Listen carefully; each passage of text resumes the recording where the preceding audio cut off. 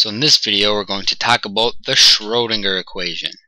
And all the Schrodinger equation is is just the wave equation for matter waves or looking at matter as waves in quantum mechanics. So it's it's the main tool we use in quantum mechanics to to to analyze systems. So first I'll just write it down and then we'll talk about the different pieces. So here we have I times h bar and then I'll do the time derivative with respect to t times see the wave function which I'm using a different symbol for wave function in this in this in this case equals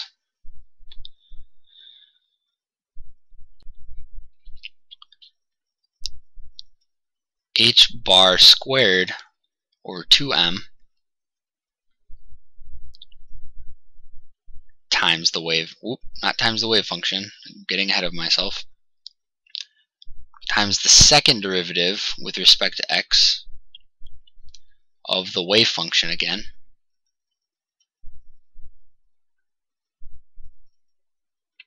plus, so I'll use this, plus this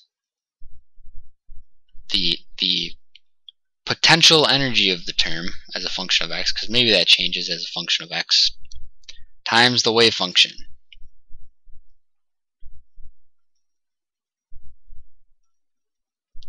So this here is the Schrodinger equation. So, so where do we start talking about this? Well, the first thing I want to point out is that just like our other wave equation, it, it consists of derivatives derivatives and this is just a constant term. But but it's it's not a derivative but it serves sort of the same purpose. I'm still keeping it the same color. And these these are what are modifying the wave function in in our and and then we're equating equating these different terms or these two terms added together equal this term. And so the fact that we're using a, a, a multiplicative term and then two derivatives means that the wave functions are allowed to to interfere that we can that we can add different wave functions together to get a total wave function. And that's and that's what makes this a wave equation. And that's that's why the other wave equation worked the way it did. And and that's why this this equation works the way it does. It's so I'm just I'm just convincing you that this is indeed a wave equation and the next thing I'll address are these are these constant terms here. These these these constants here. And what do these mean? Well, for now, we'll just think of them as constants, and and and h bar is a is a very important constant in quantum mechanics, and it's really the fact that h bar exists is is kind of part of the whole basis of quantum mechanics. But um, but we'll leave that for for future videos and for now they're just they're just constants. And the, the last thing to address at least in the way we've written it here are these are the are these wave functions or or the wave function. And so I've used this different symbol right? I've used the Greek letter psi. Psi.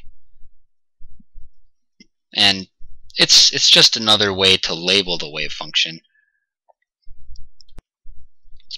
But in this in this video, I've chosen to use psi for the wave function because because that's that's the normal normal symbol used in quantum mechanics just to get used to seeing a psi if you're going to be learning about quantum mechanics. And then also to emphasize the fact that that we're talking about something different. We're not talking about how far a string is moved. We're not talking about about the electric field in a in a in an electromagnetic wave. We're not talking about pressure in a sound wave. We're talking about a matter wave. And what what is this? What does this mean? This this wave function here, right? What what is this? If I say at a certain value of x, we have we psi has a value, and what does that value of psi really mean? Well, it's what it is is the probability amplitude. We'll write that down. Probability amplitude.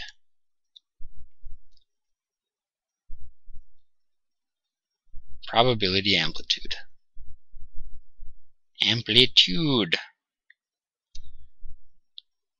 What does that mean? Well, say I have, excuse me, say I have a wave function. Say, say I have a particle in a box, and we'll solve this probably in the next video. We'll, we'll show what it's like, but say I have, this is my wave function.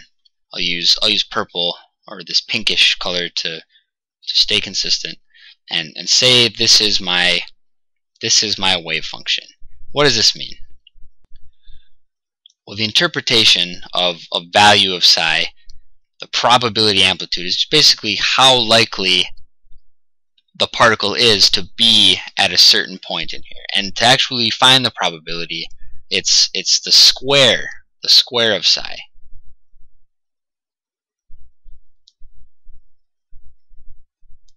Square. And I'm using these these bars here to to to emphasize the fact that that psi can be a complex number.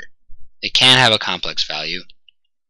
And so and so we need to take the the, mo the square modulus, mo multiply it by its complex conjugate, and that's that's what squaring is. But but I just I just wanted to be clear about that fact, and that's why I'm writing it like this. But but we won't deal with that right now. But um, but anyway, I just wanted to to clarify that this psi isn't the probability; it's just the probability amplitude because because you could say I have another you know, I'm going to draw this box again and say say I have a wave function, you know, that like the other case where, you know, the other standing wave case where I'm getting ahead of myself, but it's actually negative here. There's not negative probability, and you can so if you square it, you ensure that that it's always a positive probability. But that's basically what we're all we're talking about with psi is how probable is it that the particle is in any particular position when we talk about psi of x. When we talk about the wave function with, with as a function of x. And so to set us up to do a problem with the Schrodinger equation, I, I want to, to make, make one simplification. So we have this up here, we have, we have this right hand side. I'm not going to touch this right hand side the left-hand side with the time derivative.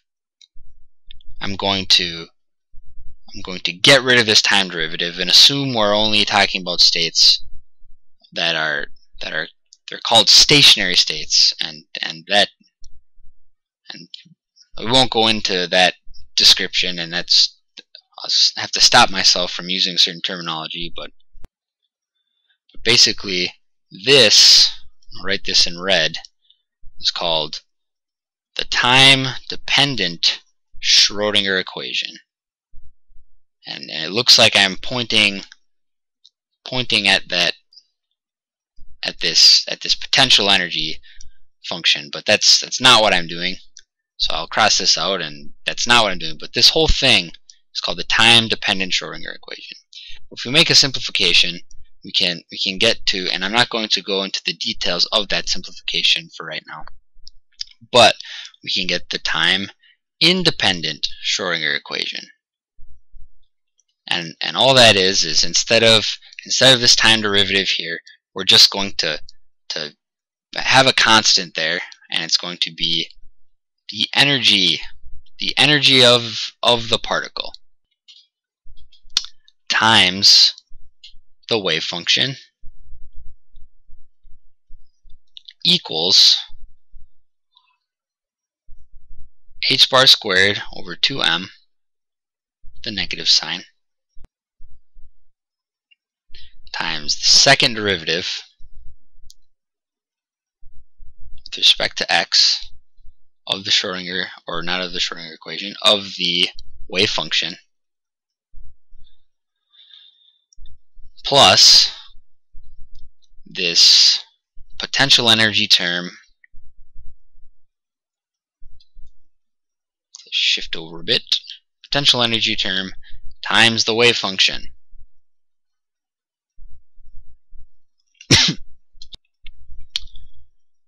and this is the equation that we'll be solving in the next video for a certain for a certain type of a certain a certain situation. And and in this video, I'll leave you with two two little bits to chew on. And the first little bit to chew on is that this this this piece here is the potential energy or, or not not this just this part is the potential energy potential energy of the of the of the particle and times its wave function. So what is this here? Well this is the total energy right? This is the total energy total energy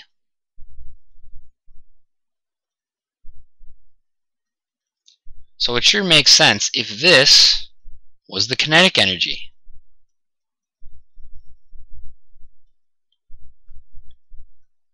Kinetic energy.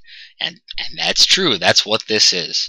And, and I won't explain how that is, but I, I just wanted to draw your attention to the fact that this is, this is just an equation about energy.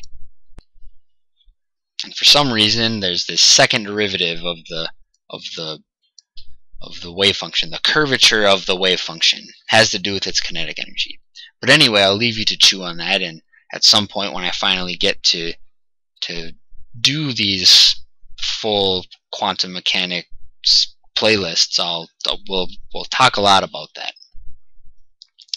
And the other the other bit to chew on, which is actually a much bigger bit to chew on, is this right here why in the world is this a one-dimensional or why or or why is this only a single derivative? Wouldn't it make sense if like the other wave equation we had that it was also a second derivative? And and, and why is it like this? And and and that's that's a that's a really good question.